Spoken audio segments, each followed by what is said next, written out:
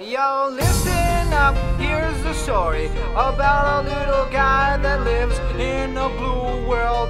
And all day and all night, and everything he sees is just blue, like him inside and outside. blue his house with the blue little window and a blue Corvette. And everything is blue for him and himself and everybody around. Cause he ain't got nobody to listen, to listen, to listen.